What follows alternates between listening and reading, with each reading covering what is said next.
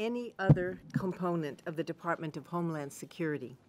While air travelers do not always express their gratitude during the process, we do appreciate what the TSA and its employees do to protect our nation. During the partial government shutdown earlier this year, TSA personnel worked without pay.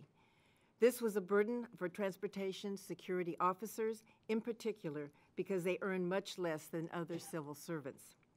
TSA workers overcame great personal hardship to continue carrying out their duties. There were even reports of personnel sleeping in their cars because they could not afford the cost of continuing uh, to come uh, to work. I hope you will convey our continued support and appreciation for your workforce. I know you share our concerns and have been an advocate for them. After making significant new investments in your workforce and to equip it with advanced security technologies in the bill for the fiscal year 2019, I was disappointed to see that the President's fiscal year 2020 budget proposes a cut to TSA's funding. Many of the cuts are repeats from the past two years based on the elimination of activities that the Congress has repeatedly voted to continue. The Visible Intermodal Prevention and Response teams known as VIPER, the Law Enforcement Officer Reimbursement Program, and TSA staffing at exit lanes. There is also a disconcerting mismatch between the budget and the expected growth in travelers, and once again, the budget relies on a proposal to increase the passenger security fee, which is outside of the jurisdiction of this committee and is unlikely to be enacted. Mr. Administrator, I know the budget request reflects the funding limitations you are forced to live under, but it will be difficult to fill in the funding holes uh, that the budget creates. We look forward to hearing more about the budget request for FY 2020 and whether it would provide the resources that you need to support your critical missions. Thank you again for joining us, and I look forward to our discussion. I would now like to turn uh, it over to the distinguished gentleman from Tennessee, Ranking Member uh, Fleischmann.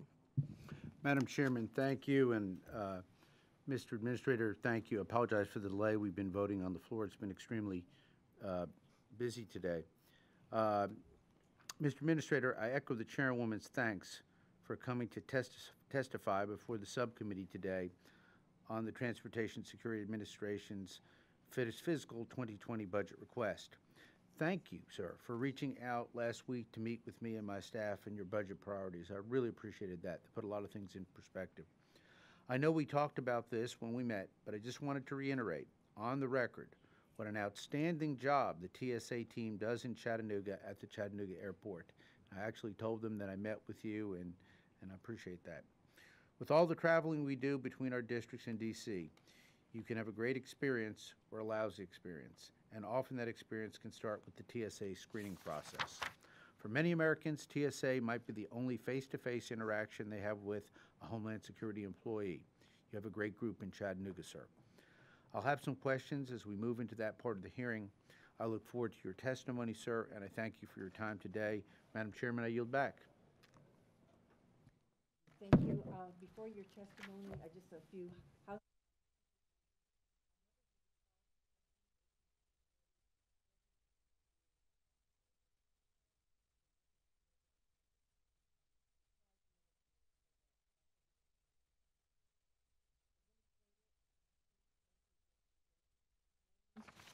Um, Look forward to your testimony and um, we'll put the full statement uh, into the record.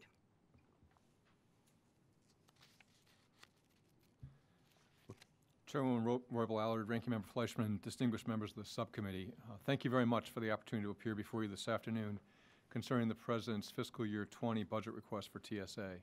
I value your oversight and support, and thank you for your critical contribution to our mission success. It's an honor and privilege to lead the men and women of TSA, and I very much appreciate both of your comments uh, on the TSA workforce this afternoon. Uh, in my view, they embody our core values of integrity, respect, and commitment. And as both of you has, have mentioned, that commitment was so plainly evident during the recent 35-day lapse in appropriations.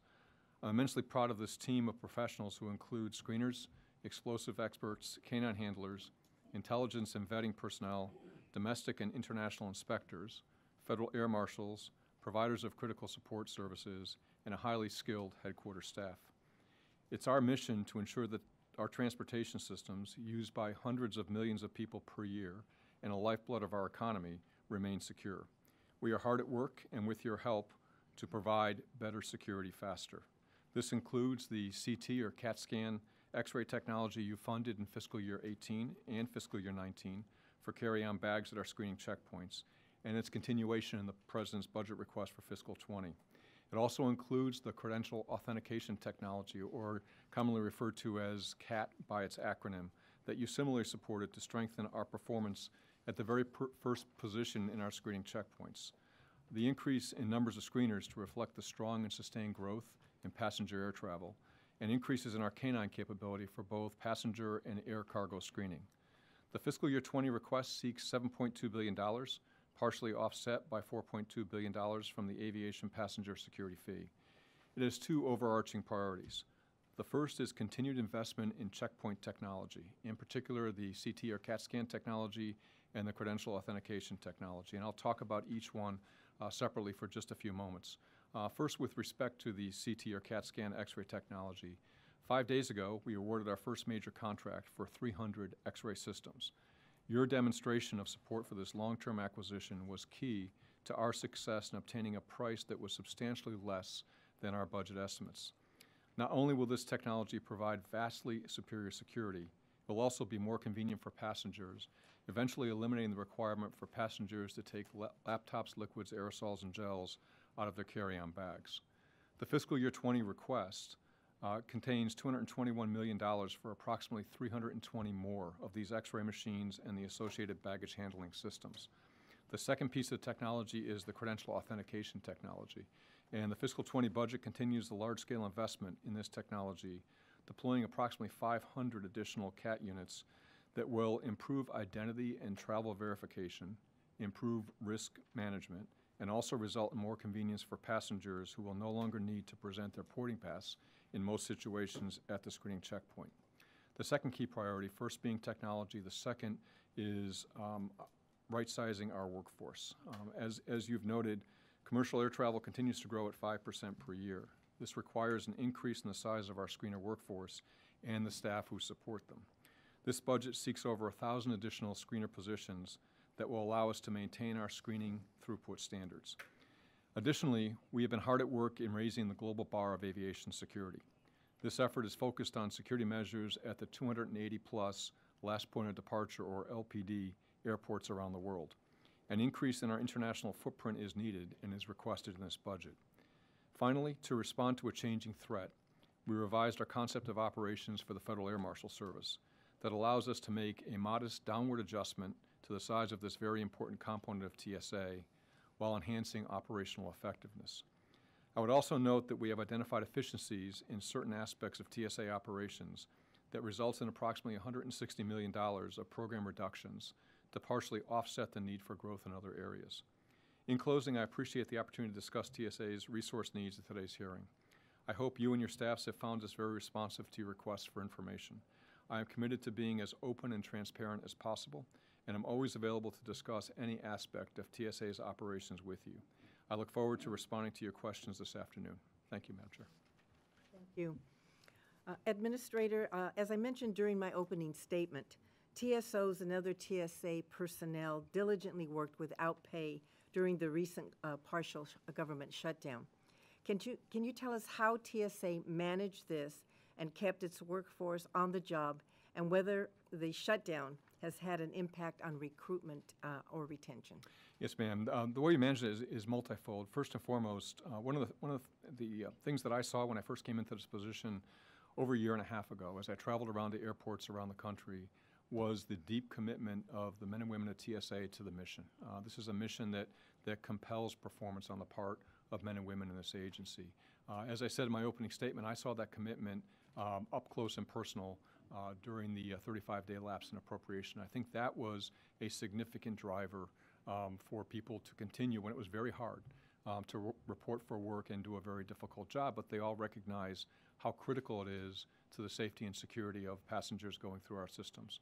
Additionally, thanks to the um, authority that you've provided in law, uh, we have a two-year appropriation for our operations accounts. Um, And so that allowed me to use un- unobligated fiscal 18 funds. And we were able to do a number of novel things as a result. Uh, We were able to, uh, for example, um, provide bonuses to our, to our frontline screening workforce um, with the idea to get as much cash into their checking accounts as we possibly could. Um, And so that was, that was one aspect that, that, um, that we were able to exercise because of the unique authorities that TSA has. Um, Additionally, uh, we were hugely um, uh, rewarded, I think, um, by our airline and the airport partners for the dedication of that workforce. Um, Across the entire system, uh, we had uh, expressions of generosity um, and donations of food and other support um, to our frontline workforce that really was very meaningful to them. Uh, Additionally, passengers, as they're going through the screening checkpoints, recognize the fact that that the screeners that they encountered, uh, if they're a regular traveler on, on a very routine basis, were now working, going on at the very end of the shutdown uh, for almost five weeks without receiving pay. And uh, just the, the um, expressions of appreciation, gratitude, and the fact that passengers expressed um, that they valued the work that the TSA workforce was performing uh, meant an awful lot um, to the workforce. Finally, uh, I would say that um, from, from my perspective, my focus is always going to be on the front line of the organization. And, and I've asked all of the leaders within TSA to similarly focus on the front line, to walk around, have a conversation, understand what challenges our employees might be dealing with, and do whatever they can to remedy them. And so, uh, you know, we, we have essentially used the authorities the Congress has provided uh, to the fullest extent of the law.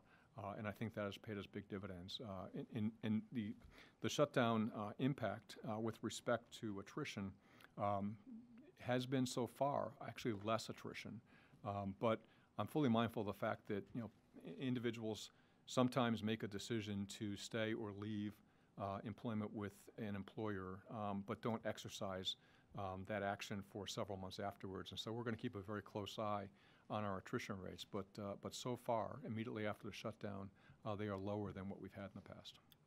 And what lessons did you learn during this period that would be relevant in the future if we have another uh, shutdown or some similar type of situation?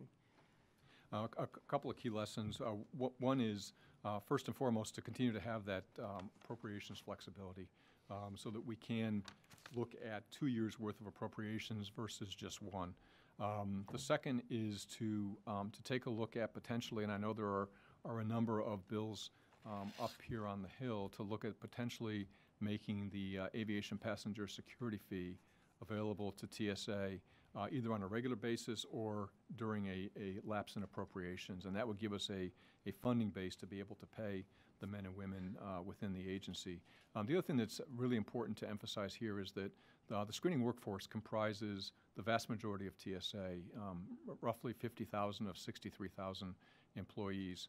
Um, but there were an awful lot of employees that were also similarly working that weren't visible um, to, to passengers, and, and they were also impacted by the shutdown. This includes all of our personnel um, that do, do vetting operations, that basically look at passenger information before passengers board flights to be able to assess risk by passenger. Um, all of our federal air marshals that provide uh, in-flight security, all of our inspectors at airports around the country that ensure airports and airlines are complying with the regulations we put in place.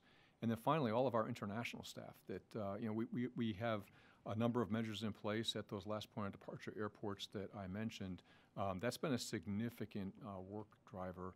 280 airports, and we have you know four series of, of different requirements uh, at those airports. And so you know the entire organization really pulled together.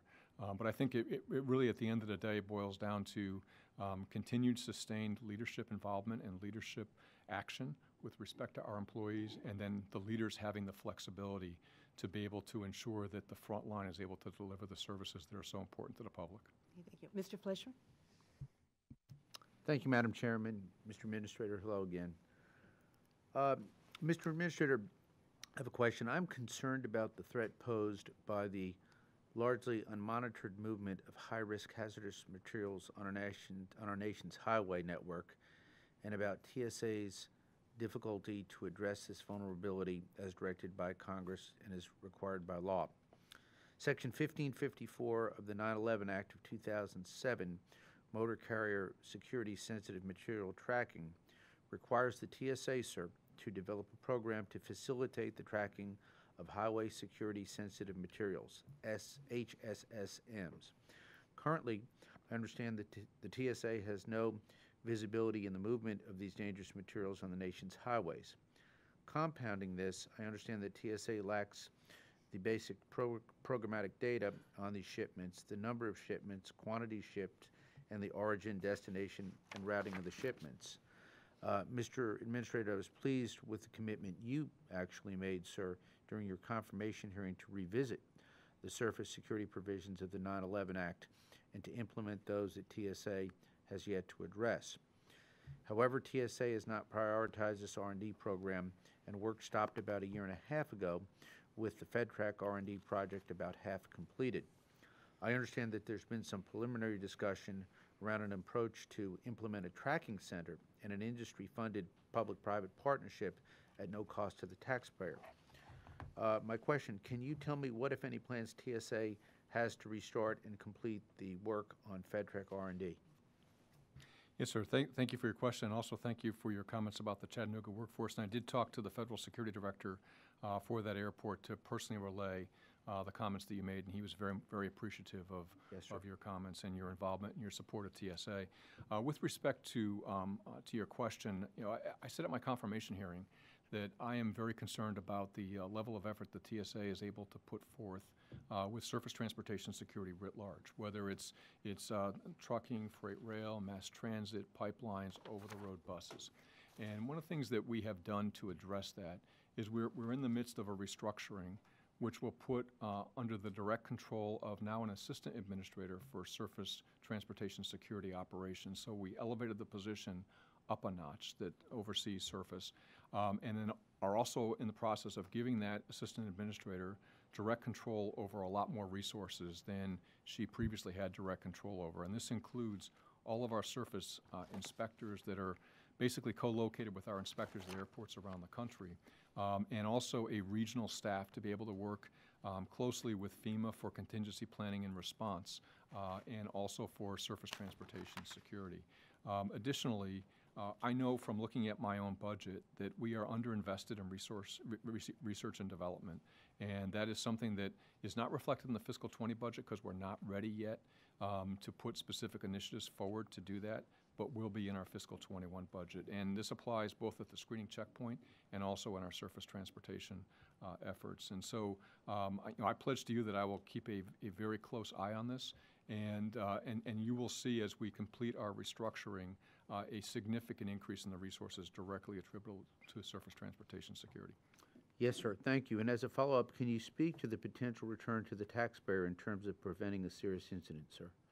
Yes, sir, and, and that's something we're always very mindful of, is the, you know, the ROI um, is, is enormous on almost every aspect of what, uh, what TSA uh, performs. And we do have a, in my view, a very robust risk assessment and risk management process that kind of looks across the spectrum of, of what we're asked to, to, um, uh, to secure and makes decisions as to where we need to spend that next available dollar so we do get the highest return on investment for the taxpayer. Uh, but that's a constant part of our process. And I, I just recently um, amended the, the risk assessment and management process to the point where uh, annually it's briefed to me and my senior staff as to what risks we think we're facing and how we're going to manage and mitigate those risks, and then quarterly updates after that. So it's constantly on our plate. You know, as we look at our own resource allocations, our own policy decisions, that we keep that in clear focus. Mr. Administrator, thank you. I believe my time is, is up. Madam Chairman, I'll reserve for round two. Sure. First, thanks for being here. Uh, when TSA first started, there were a lot of problems. Uh, I think that there wasn't really adequate training, and I think also there needed to be a, uh, a theme with the people who work really on the front line that they were in the service business, they were representing Homeland Security, and that there's a way to deal with your job in working with people, and and that's changed. I think TSA really, uh, whether under your leadership or, or before, but I see uh, you have better training. I think the people, I fly out at BWI Airport a lot in Baltimore, but the people are really friendly. Uh, they do the job the best they can, and they're professional. And that's what you want because they're still representing the government. So whatever you're doing there, keep it up. And, and I, you know, I want to acknowledge the employees, and and again, I'm sorry that, that, uh, uh, unfortunately, for different reasons, I'm not gonna get into any politics here, but, you know, that, that you couldn't be paid while you were working, and that, that can't, should not happen again. Um, I wanna get into the, um, the issue of, um, I think you've expedited uh, the procurement process for, uh, for fielding compute, computed tomography, uh, CT technology, uh, known as, and known as a gold standard in the aviation security. You know, I was former ranking member of the Intelligence Committee and dealt a lot with terrorism, and to this day, I still think that one of the, one of the key areas for terrorists is, is the airplane. And so you have that burden with you, and you've got to keep up that on a regular basis. And I hope you're communicating with intelligence agencies and other groups too. Um, I'm also pleased uh, that you have just uh, bought over 300 uh, technology at the screening with Smith Detection. Well, I'm pleased about that. They're in my district. So I want to make sure that it was a competitive bid and, all that. okay, just to cover. But they, tell us why you picked them and why their technology is so good. Yes, sir. Well, well, CT, uh, as I I have said, one other question, so try to make it quick. Yes, sir. Um, C- CT, CT is a game changer for us in the screening checkpoints. Um, it, it provides an image that is much clearer for the operators to see, and you can move that image around 360 degrees. So you can see a bag and look at it in the opposite direction and see underneath. That's why laptops don't need to come out of carry-on bags. Oh, that's good. Once to see, it's huge. It, it, it, and not only that, but the uh, ability to detect explosive levels that we're concerned about is, is night and day compared to the current technology that's out there. To the current contract award, very pleased with the way that process went. We did it within a year, which is unheard of in, in federal procurement. We were able to do that because we had a great staff to be able to execute on it. We had great support from the Department of Homeland Security. And also our, our private sector vendors and our private sector partners, airlines and airports, were all in on this. Uh, very, very competitive process, and, and you saw the results. You know, I had my neck, whole back and neck refused. I have two artificial shoulders, two new, new knees, and five screws in each foot. That's an orthopedic surgeon's dream. But, you know, I always got nailed every time. And with that new, when you, when you put up, it seems that, that you pass through that without all the checking and that type thing. Yes, sir. I would give that as an example. You don't need to talk about that. My, my, my body can talk about it. But we have, a, we have a solution we're looking at for that, too. Good, well, that's great. The other thing I want to get into uh, is, and this is a little bit more controversial, uh, local airports, airports uh, employ able and competent security guards, but the level of training at TSA is so superior to second to none right now in this industry. And I believe your agency should be uh, staffing exit lanes. That's a, that's a controversial issue because the president's budget cut that. Uh, and that did the same last year. Um, and, you know, the, uh, last year, I think Congress was able to put in 77 million uh, back in the budget. Again, we're dealing with it again. And, you know, I, hopefully our colleagues come together and, and push for full funding. And this is, this is not a cost that the regional airports can really afford and a lot of the other things that they have to deal with. Customs and Border Protection is using the same mechanism yeah, at- to our seaports. I represent the Port of Baltimore too, to pass the buck to local governments. And there's certain responsibilities we have. And so we're going to attempt to do what we can to protect our country. But in my opinion, now, I don't want to put you in a bad situation, especially with the boss you have. You never know where, where he's going to be sometimes. And so you don't have to comment on this. Uh, just I want to say that we really feel that this should be your responsibility. We got money in the budget last year, and we're going to try to do it again this year. You know, I'm saving you, so I don't want you to have to comment on this. Yield back. Mr. Newhouse? Welcome, Administrator Pek- Pekoske. I'm sure I'm going to say that wrong. That's right. Yeah. Well, thank you for being here. You, you, you have the unique um, position, I guess, of at least the TSA, of being kind of the face of the federal government to a lot of people in this country. And, it, and that's, uh, that's, that's an opportunity. And I just want to compliment uh, your staff uh, for being as professional and efficient as they are when I go through airports. And, and, and also for providing that uh, positive face of the federal government to the general public. So, so thank you for, for the hard work that you have in front of you, but also for the professional way you carry it about. So, um, I wanted to follow up a little bit on the chair's question, even though I wasn't in the room. I understand that the, the question of retention was part of what you were thinking. Um, one of the concerns are that uh, some airports continue to face the difficulty of, of uh, retaining uh, TSOs, particularly in a, in a dynamic, hot economy, competing. Um, in Seattle, in the Seattle reg- region, in particular, of course, where I fly in and out of uh, twice a week, um, I know you've been able to do temporary bonuses and some retention incentives for tight labor markets like that. Uh, but I'm curious how this budget proposal will uh, allow you to tackle some maybe larger reforms, uh, less uh, temporary things to change uh, how you might uh, um, address uh, this issue, perhaps increase comp- compensation um, that could really uh, lead to better retention of TSOs. Um, so, so uh, in, in light of that, can you tell me what maybe some of the long-term goals are at the TSA to recruit and retain, and and also uh, certainly how we can help implement and expedite that uh, that plan? Yes, sir. Uh, Thank you very much for your comments. And, and um, Seattle-Tacoma Airport's a very, very busy airport. Um, And, and we place a, a lot of emphasis on making sure we have uh, the proper staff there uh, because of the volumes that are going through that airport and also the proper number of canine teams um, to help us with security.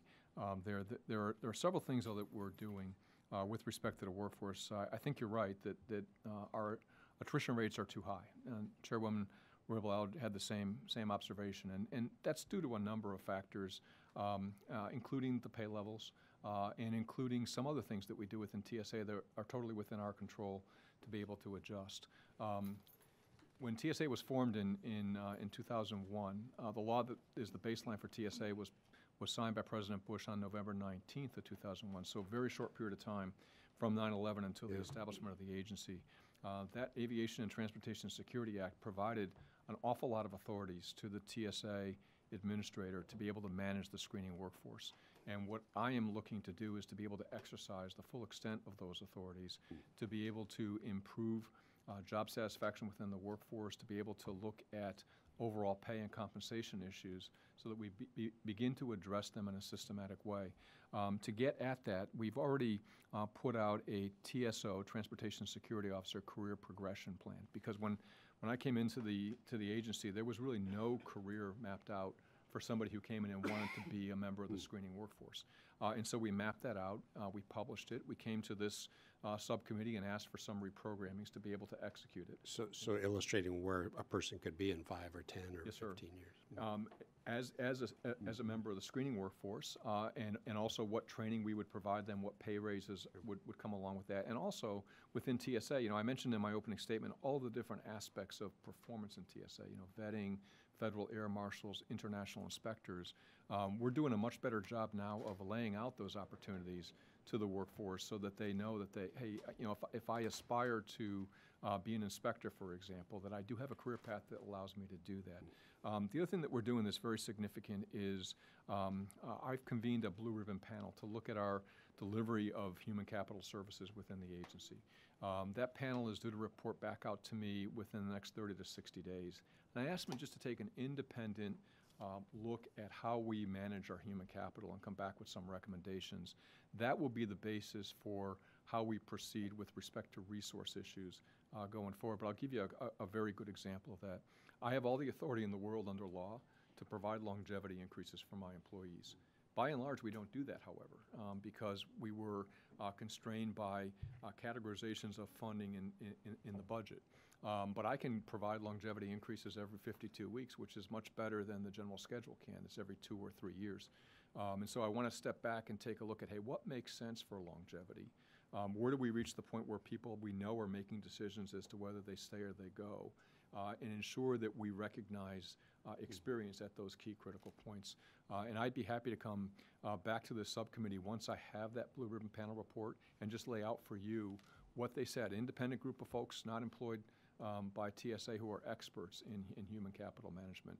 Uh, final thing is that my focus is on uh, leadership and on properly taking care of the entire workforce. Um, and that's where I ask all my leaders to focus their time as well so that we are keenly aware of what the needs of the workforce are. Good.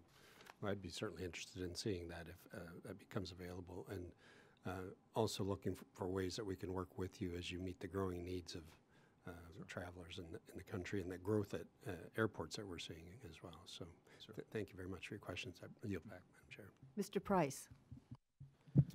Thank you, Madam Chairman. Uh, Welcome, Administrator. We're happy to have you and um, appreciate your testimony. Let me uh, turn to the area of general aviation and ask about your, your work in, in that area and in cooperation with uh, general aviation uh, stakeholders. Uh, the recently uh, enacted FAA uh, Reauthorization Act included provisions which encourage more focus on TSA's efforts with general aviation airports and operators, and specifically encourages a dedicated general aviation representative. Now, now, part of the rationale for such a dedicated staff person is is the desire to support general aviation's efforts to encourage and improve secure operations. Uh, this includes efforts to modernize existing security programs, particularly in specialized areas like the DCA Access Standard Security Program and gateway airports, which are used to provide access during temporary flight restrictions for special events and, and, and so on. A number of these efforts underway.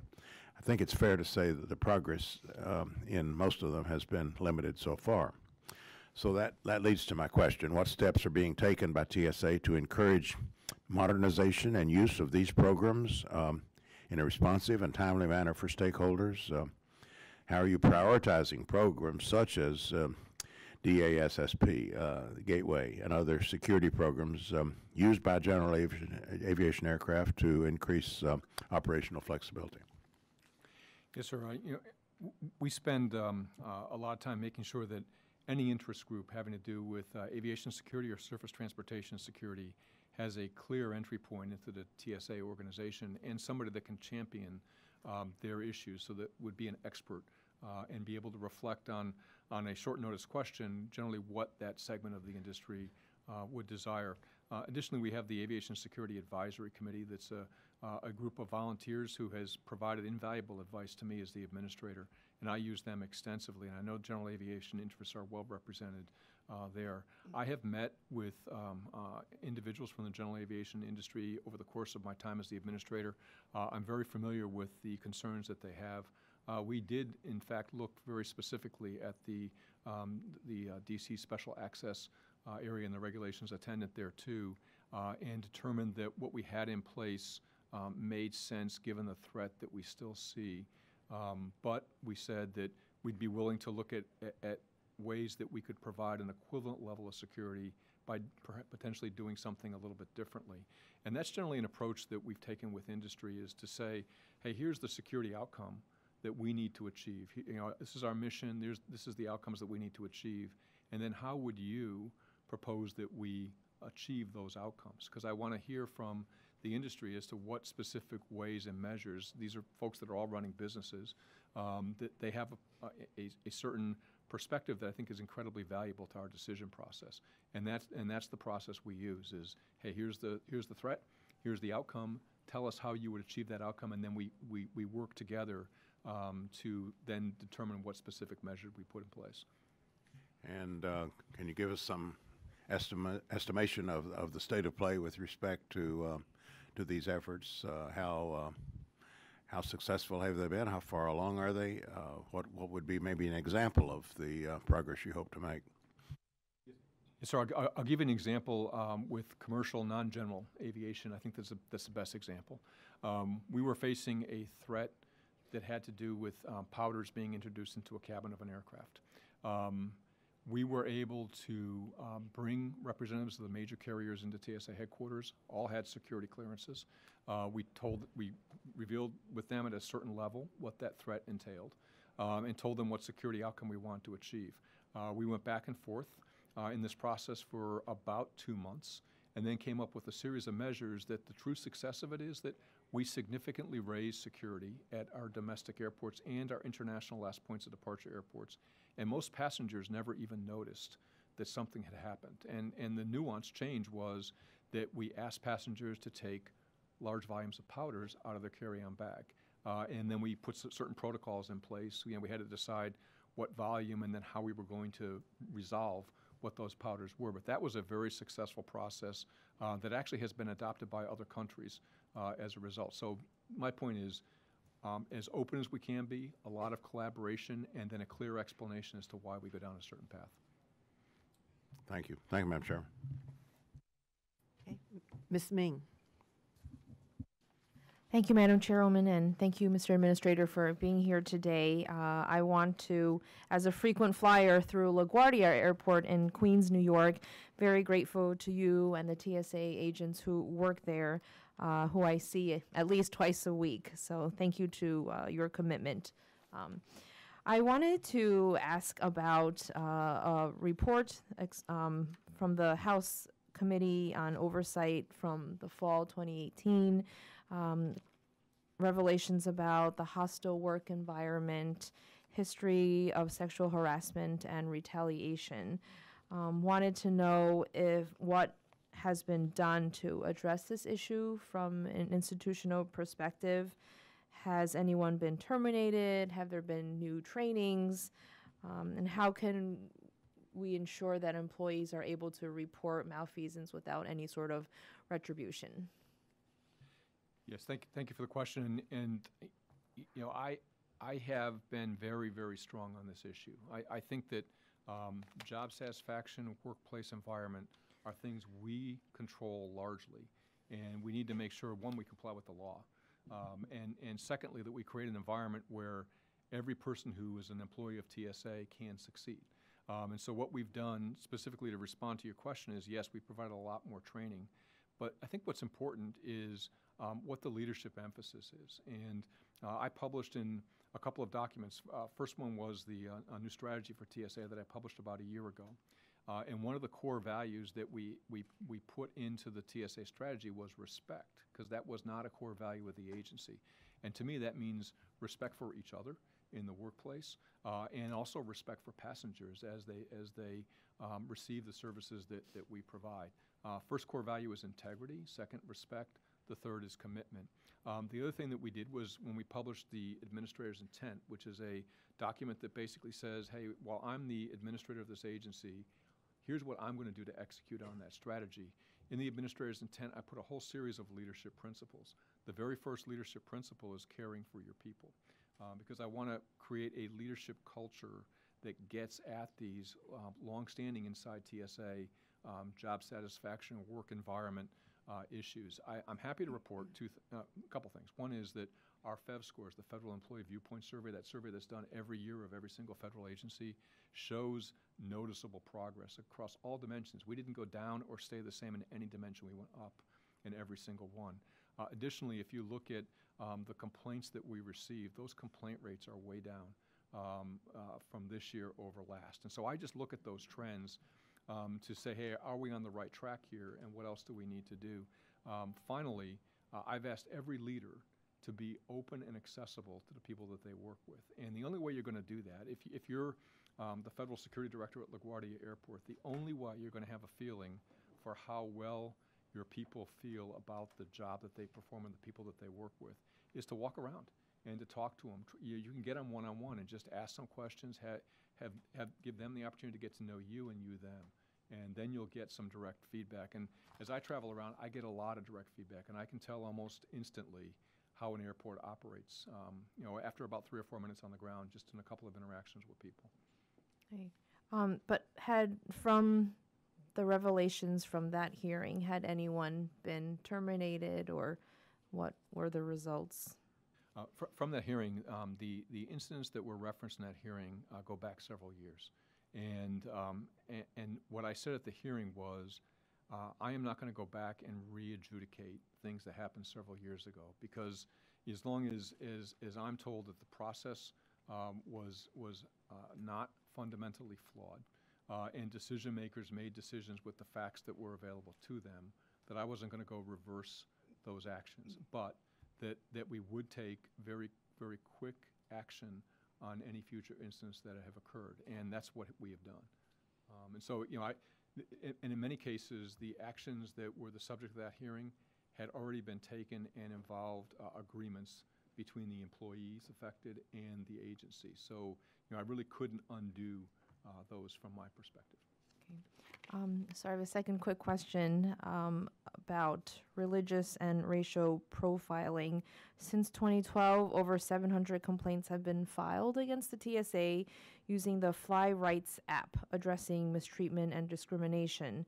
Uh, in contradiction to TSA protocol, uh, Sikh Americans have been required to remove their turbans. Muslim Americans have been interrogated about uh, which mosques they attend, for example. Um, to ensure that this type of profiling does not occur at airports across the country, what types of accountability systems uh, are currently in place? Uh, a number of things. Uh, fir- First, um, we- we screen on average 2.4, 2.5 million passengers a day. Um, And that number 700 goes back to 2012. So if you look at the volume of passengers, uh, to put that number 700 in context, but there are still 700 people who had a complaint. I'm- I'm very mindful of that. Um, And you know, we have a process that- that that we have that that allows people to register a complaint uh, and then us to get back to the individuals, uh, do whatever investigation is, is deemed necessary at that point in time, and try to resolve these as expeditiously as we can. Um, Additionally, um, I have uh, made it a, a point as I'm traveling around the country to visit different groups uh, around the country, just to be able to establish that connection from the, from the top leadership of TSA with, with different communities uh, in this nation. So we're trying to, to make sure that we have a very good dialogue. And I, you know, we have a multicultural day um, every year uh, in TSA. It's widely attended, and, uh, it- and the attendances grow in year after year. So I think our levels of communication are very good. Final point I'd make is that um, when we see um, a- a passenger who has a complaint, first thing we do is, is, is we want, ensure that our officers were following our standard operating procedures. And I- I will tell you that in almost every case, that is the case. Um, So then we back up our officers, our officers were following our procedures. But then the second question is, are our procedures still the appropriate procedures? Because every case we use to kind of re-review our procedures to make sure they're appropriate given the security concerns that we have. Okay, Thank you. I yield back. Mr. Aguilar? Thank you, Chairwoman.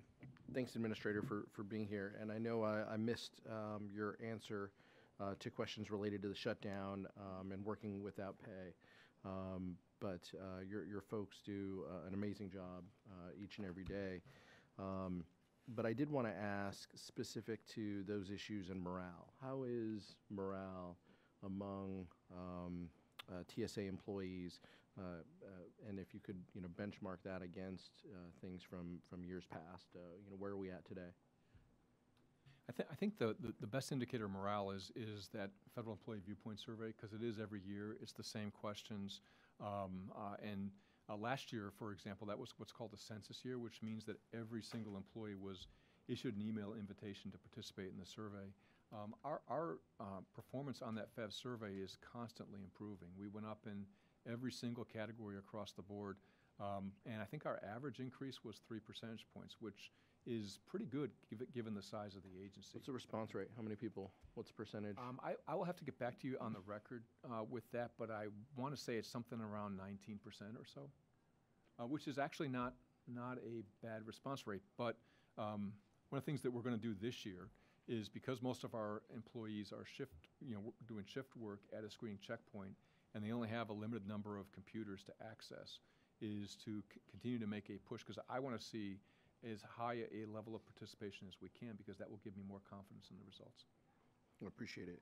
Uh, news reports have mentioned that a team of TSA agents made a trip to Saudi Arabia with the goal of helping uh, Saudi Arabia with aviation security and technical assistance. Can you expand on that, that government to government uh, relationship uh, and how long is it scheduled to continue?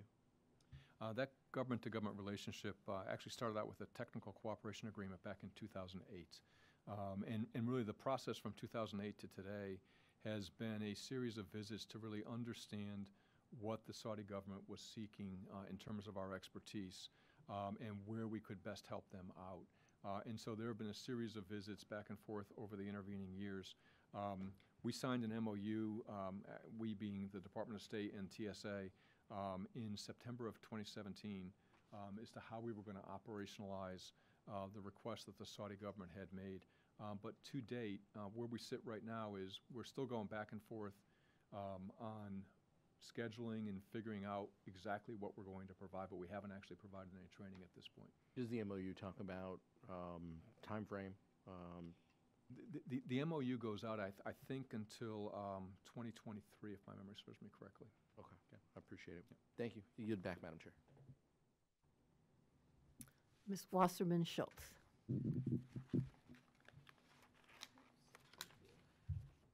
Thank you, Madam Chair. Um, I, I want to uh, follow quickly on the heels of my colleague from California with a question, um, or really a statement about our TSOs. Um, these are folks who are abused and ridiculed for just doing their jobs. I mean, it, abuse and ridicule is not in their job description, but one would think it was, given how I've witnessed, and I know so many of us have witn- witnessed them uh, being treated. And, uh, and then on top of that, they went through a government shutdown and did those same jobs without pay. So have we now fully paid all of the TSOs that did not receive pay during the shutdown? Yes, ma'am, and, and in, in any large organization, you're always going to have a very small percentage of people unrelated to the shutdown or just that have pay issues that we work very quickly to resolve. But um, a, a lot of the pay issues that we had immediately following the resumption of full operations and appropriation uh, were mostly related to um, system issues uh, with the pay system itself. It wasn't the actions that we were taking, it was actually executing through the pay system. Okay, thank you.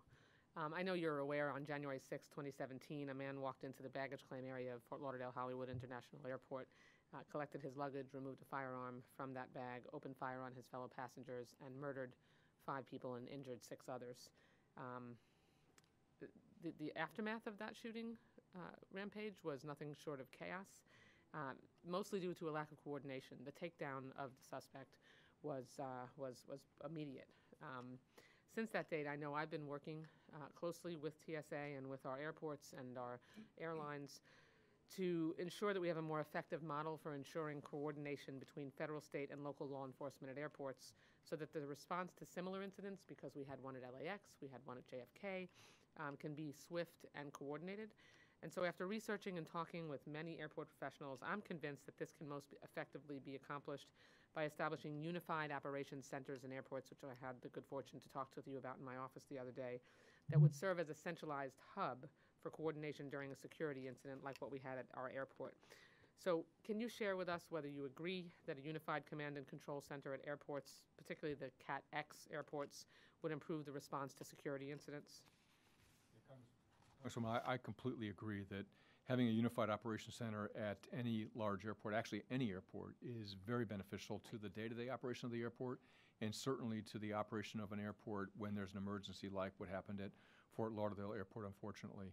Um, and, and I also believe that um, uh, the best model is to have them up on a day-to-day basis and not start them when you have an emergency because that loss of time and just the, the coordination that needs to occur uh, precious seconds are lost, and that really counts, as, as we saw uh, in Fort Lauderdale. Um, there are provisions in the TSA Modernization Act um, that, that have us set some guidelines for airport operation centers, and we're on pace uh, to do that because I want to see that uh, in writing and publish that as an agency. Uh, and then we have scheduled uh, in the MOD Act a brief uh, to members on this very topic. Um, so I'm looking forward to both those opportunities. Great, and I look forward to working with you as we discussed on my legislation so that we can further actualize that, uh, that concept. And lastly, um, I wanted to just touch on the advanced imaging technology that since 2015 has been approved and utilized by our international partners at some of the world's busiest airports. Uh, the newer next generation AIT technology used in Europe and internationally has been at the Transportation Security Lab uh, since 2014. Data from TSL assessments clearly indicate that this new technology performs better than TSA's current technology. It's less intrusive. It makes it a little bit less confront, quite a bit less confrontational for our TSOs when there is a- an alarm. Can the TSA leverage the performance data of our international partners to reduce the time and TSA resources needed to accelerate the validation of the new AIT technology and make it available more quickly for airports to equip new terminals? Uh, Yes, ma'am, absolutely. In, in fact, we have already certified uh, that technology, which means that we have tested it in our, in our labs, and we've said it meets the performance specifications that are required uh, for use in our, in our screening checkpoints. So we are already doing that. And, um, and to your larger point, we work very, very closely with all of our international partners on their technology advancements so that we don't repeat each other's good work and that, and that we benefit from the lessons that each other learns. Thank you. Thank you, Madam Chair. Yield back.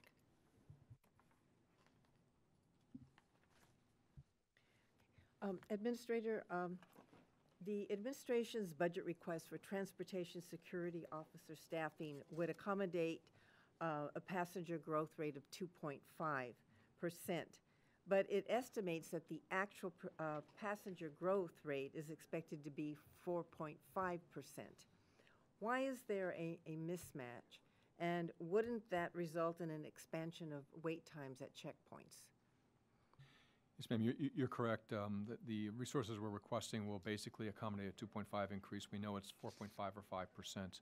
Um, but we also know that in certain airports around the country, we really can't add any more people because we're, we're, we're maxed out in terms of the number of screening lanes uh, that we have. And so that's a factor is the, f- the fact that in some airports, you just can't add any more lanes, even if you knew you needed to. Uh, and we essentially wait with the airports for infrastructure improvement projects to give us that additional capacity. Um, also, you know, we were looking for ways to become ever more efficient in the screening operations that we conduct. Uh, and I'll give you two really good examples. Um, for the CT, the, the CAT scan X-ray technology that we're looking at, um, that will eventually make us much better to be able to specifically isolate in a carry-on bag if, if, if the bag alarms through the X-ray, what specifically we need to look at. And that should speed the process along.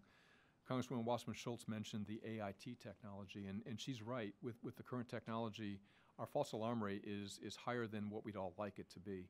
Uh, the new technology that we're looking at brings that false alarm rate down. Uh, and so what that means is that we have, um, when we need to do a pat down of a passenger, it's, it's more likely than not that there's an anomaly, something on that person's body that alarmed the machine. Um, and so the technology advancements should improve our efficiency overall. Um, but uh, you know, we, we are, are just in a position that um, with the top line resources that the department has and the TSA has, we really can't get up to the full 4.5.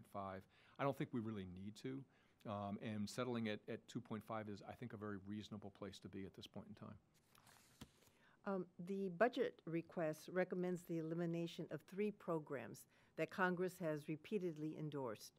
The Visible Intermodal Prevention and Response Teams, the LEO reimbursement program, and TSA staffing of exit lanes at certain airports.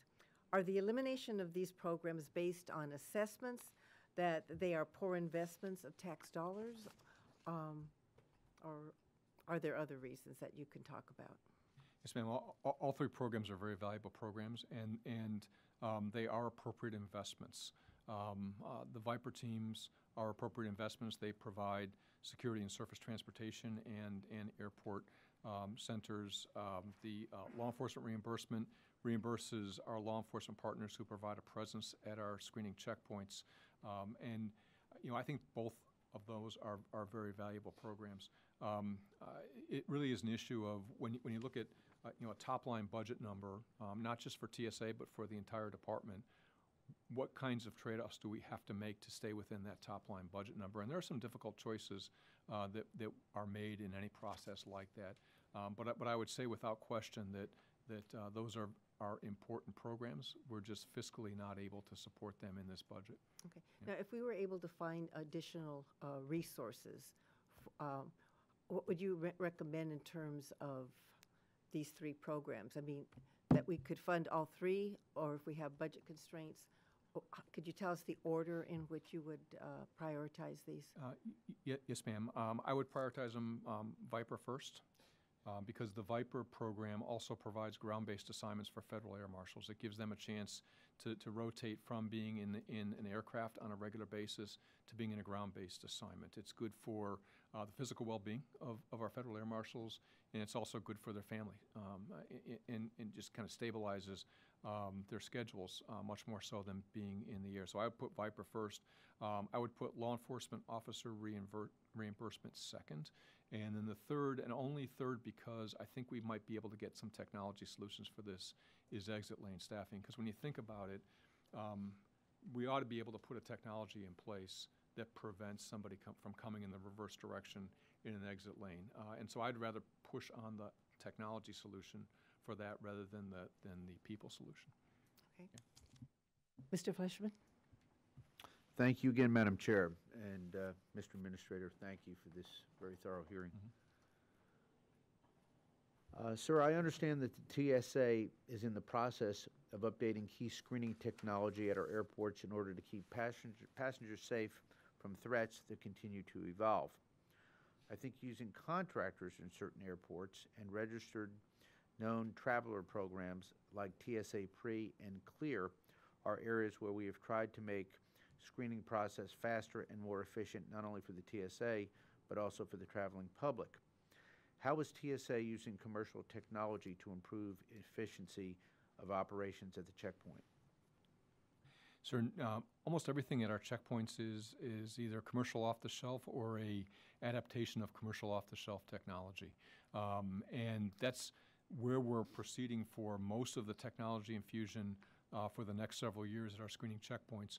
But as I, in, answer to your, to your first question about research and development, there is, there are some aspects of what we need to do at our screening checkpoints that there really is not a commercial solution available, and we just need to get into some basic research and development uh, on those items.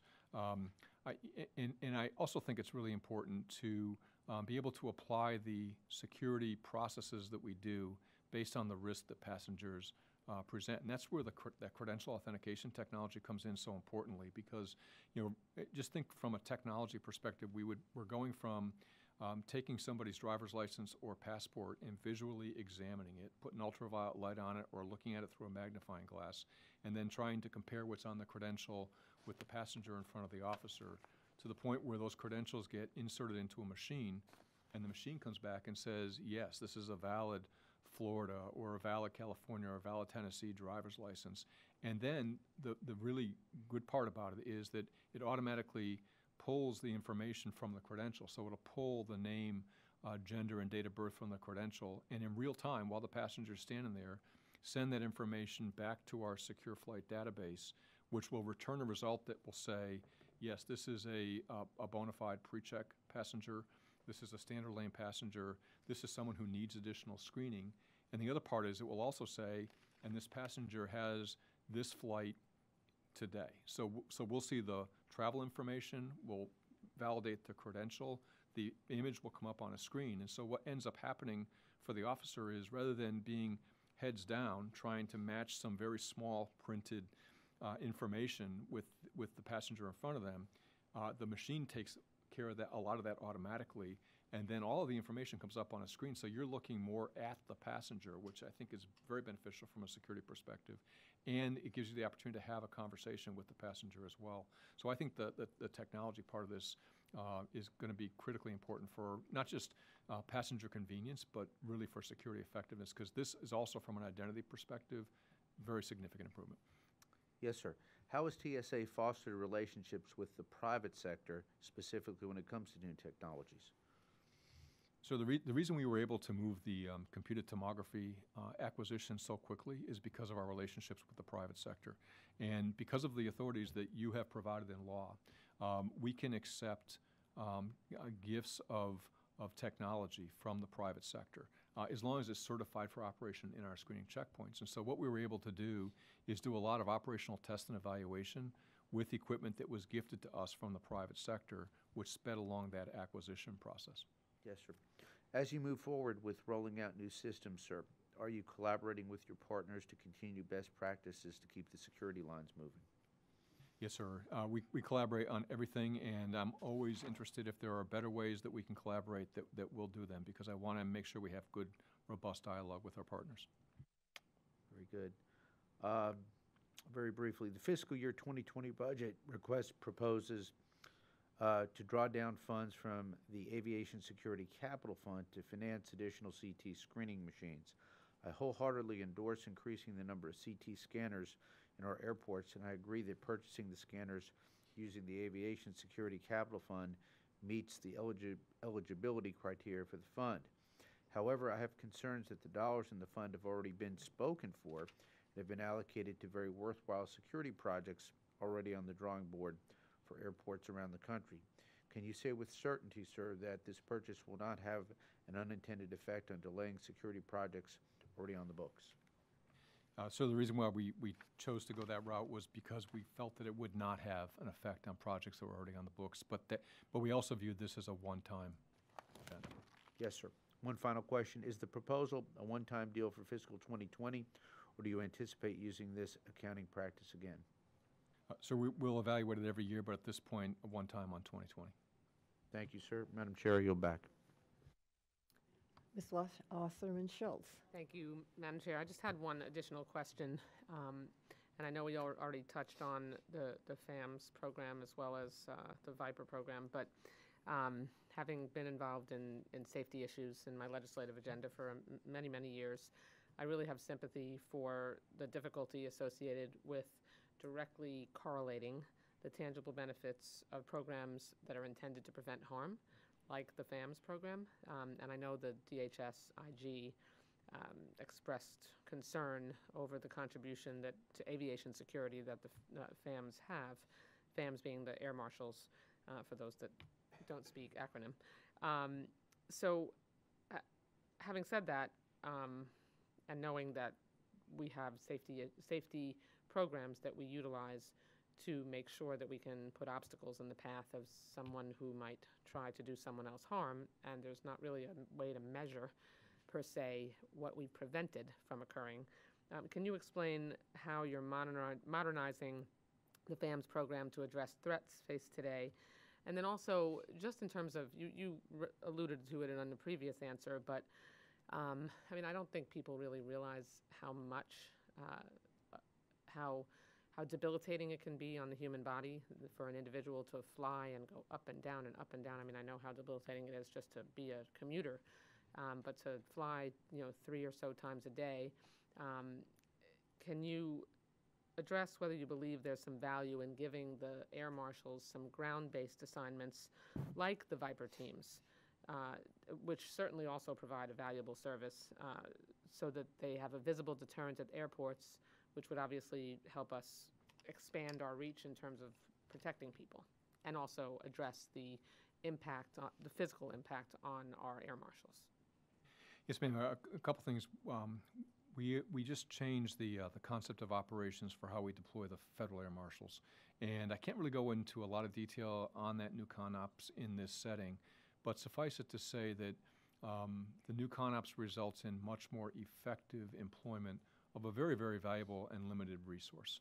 Um, I would also say that you know I have great admiration for our federal air marshals. They perform a difficult job. It's not easy sitting in a plane uh, for hours on end. If you're on a domestic deployment, sometimes three flights in a given day, uh, just three uh, takeoffs and landing sets uh, is is is fatiguing, and they've got to be alert all the time.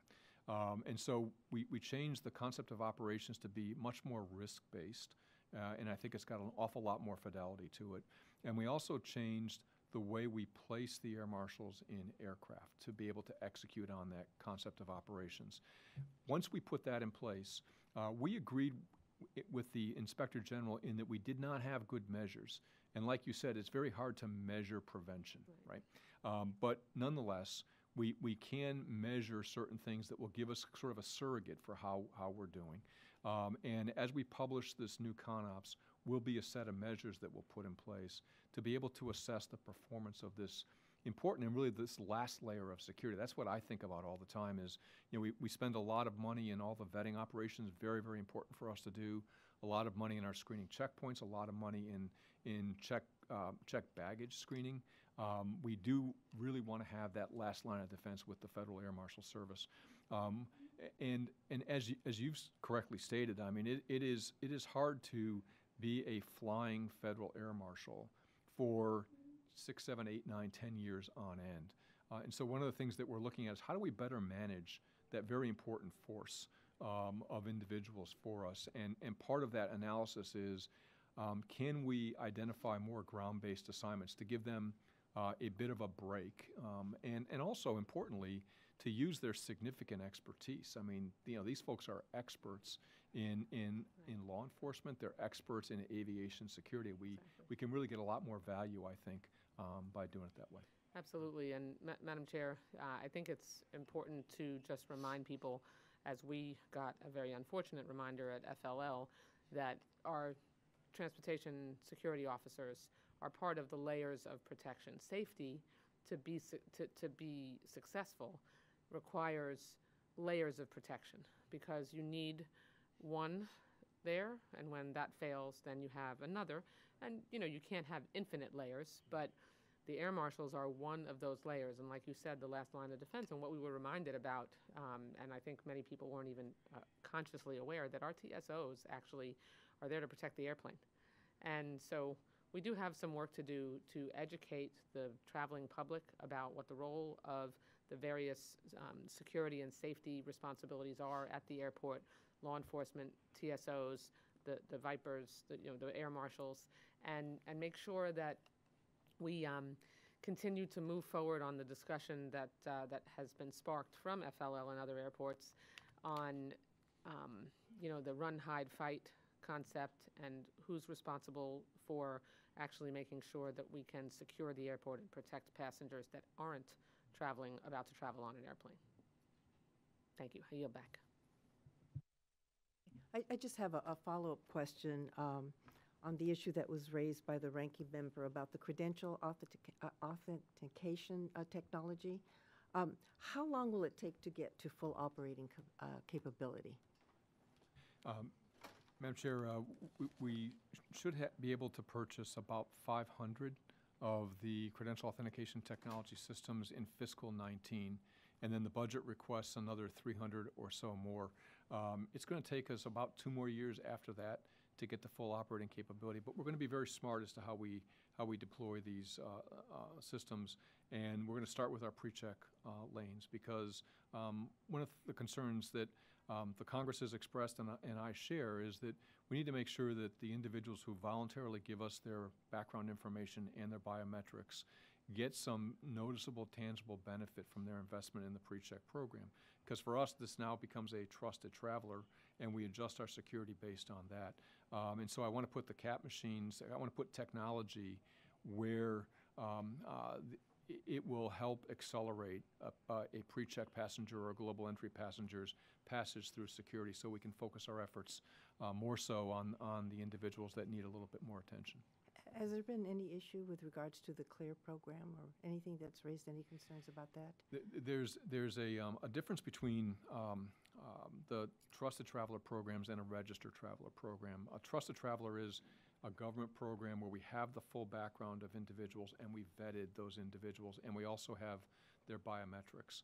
Um, A Registered Traveler program is, exists for the sole purpose of validating identity. It doesn't do any government vetting uh, of those passengers, and some, some Registered Traveler clients are standard lane passengers and some are pre-check passengers. It kind of varies across the board, although the predominance are pre-check passengers. Um, uh, and, and, you know, we're looking at how can we best integrate um, all the capability across, but with the credential authentication technology, because that's going to have risk-based information on passengers, um, that, that is a, um, a very critical, important function in our screening checkpoint. It's, the, it's basically your entering argument to screening. Uh, and, and that is something, given that the information that's available to the officers, particularly as we get this live connection with the technology, um, that uh, is so integral that it's, it's, it's, a, it's a government function uh, in our view. And so we're, we're exploring uh, with our registered traveler partner how, how um, uh, we move forward, uh, given that the CAT deployment is really beginning now and, and is going to be in earnest in, in fiscal 20 as well. Do you have any further questions? Good, thank you, Okay, we still have a little bit of time, so I'm going to just Okay. leave it up to you. If, are, are there any questions that we didn't ask that you wish we had, or any additional information that you would like to provide uh, the subcommittee? Um, A cou- a couple things, ma'am, and I appreciate the opportunity, because it's, it's, it's rare that, that, that a, a witness gets this opportunity. Um, You will see in a very short period of time, our first capital investment plan, um, that, that kind of lays out what we, what we know we need to invest over the future years Homeland Security Plan. And, and it's going to be uh, constrained by the levels that the administration has um, approved in the FYHSP, which is, is, is a logical uh, presentation, but at least you'll get to see all of the, all the projects that we envision, so you can understand the scale of the technology investment that we think is needed. You know, we've talked about the CT X-rays and we've talked about the credential authentication technology. Um, those are two that are already underway. CT, you know, to give you a, a kind of a sense of, of uh, scale, um, we're going to have 300 with this current fiscal 19 purchase that we just we just made. Uh, another 300 uh, if the fiscal 20 levels get approved. That's 600, but we have about 2,400 X-ray systems in the entire 440 airports that are federalized. Um, so you know it, it makes progress, but we still got a long way to go. Um, when Congresswoman Wasserman Schultz was talking about the AIT technology, the technology you put your hands over your heads, um, that's not even uh, a, a, uh, an acquisition program at this point in time. Now, we, uh, as I mentioned to her, we have certified that technology, which means that if uh, an airport or an airline wants to gift it to us, they've got some standards of performance that the machines need to meet that we, and we will tell them which machines are certified to those standards of performance so we can accept those gifts.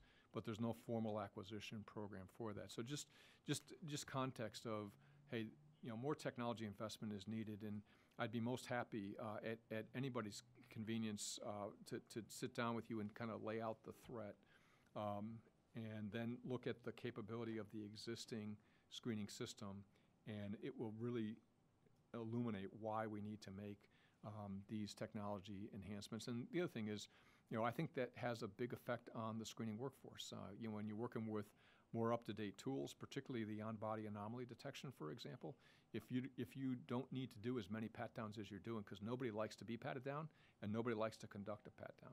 Um, if we can get technology that that gives us more certainty in that process and better detectability, I think it's a win for passengers and certainly a win uh, for for screening effectiveness. Um, the other thing the other thing that, that, that I would emphasize is um, how important uh, the human dimension of what we do is. And you all, you all know that you've, you've all expressed uh, appreciation for the work of the TSA workforce. Um, one of the things that, that has been um, uh, really uh, something that, that I reflect on all the time is how complex an agency this is. And, you know, most people think of, of TSA and they think of the screening checkpoint as the only part of the agency. And it's a very important part and certainly the most visible part of TSA. But there's a lot of work that TSA does that most people don't realize uh, that we're doing. They don't see the the uh, the checked luggage that they you know that's going to go in the hold of an aircraft that that we uh, inspect. They don't see our inspectors walking around airports making sure that there's compliance with our airport security plans and our and our carrier security plans. Um, they don't see all of the international inspectors that we have all around the world, making sure that if you get on a flight at an airport that has a direct flight to the United States, that we have um, a presence there and we are looking out for the security levels uh, in those airports. They don't see um, all of the individuals that, that work in our intelligence enterprise, uh, that do all the very important vetting work um, that, that, that uh, is important to be able to make sure that we've properly assessed the risk by passenger. And they really don't see everybody that, that needs to support that enterprise. And we, we've got thousands and thousands of very dedicated employees that make sure that you know, um, that, that our IT systems are up and running, that our pay systems are up and running, that our human capital systems are up and running. Um, and so it's, it's, a, it's a very complex enterprise. And, you know, I'm very proud of every single person uh, in the agency because without, you know, we need everybody to be able to perform our mission. Uh, Congresswoman Wasserman Schultz talked about the Federal Air Marshal Service. They're designed to be not visible um, to passengers. And, and I am so glad that we have um, that layer of security. So I, I would just, you know, take the opportunity just to uh, emphasized in my opening statement, I said, hey, there's two, two really important things we need in this budget, technology investment and investment in, in our workforce. And I really appreciate uh, the, the flexibility of this subcommittee in working our reprogramming requests along the way as we want to move some, some money around to be able to accomplish some of the initiatives that we know we can self-fund, but we just need to change the, the, the, the nature of, of the funding. Uh, and, and you've been very, very helpful uh, in that regard, and, and we very much appreciate it. And you see a couple of, uh, actually three uniformed officers um, behind me. Uh, we, we made a change in our policy in TSA about a year ago, um, where you know I wanted to see a uniform presence in the agency, and, and I wanted to have um, transportation security officers, and they're all supervisory transportation security officers. I wanted to have them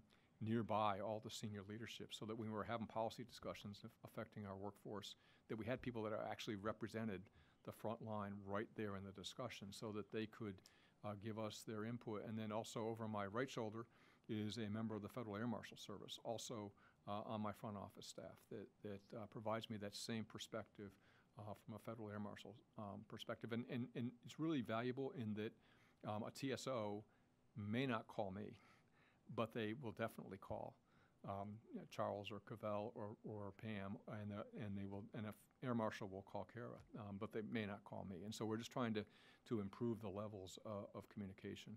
Uh, but really, I, I sincerely, I said in my opening statement that I appreciate the oversight that you provide because your, your questions um, cause us to constantly think about what we're doing to make sure that, that we've thought it through. And, uh, and you and your staffs have been there to support us every step of the way, and so we really appreciate it. Well, welcome to all of you, and thank, thank you for everything that you do. Um, As you can tell, there is bipartisan support, and we will do everything we can to, to help you to continue to protect our nation. Thank you, Chairwoman. I appreciate it. Thank you, Ranking Member. Thanks.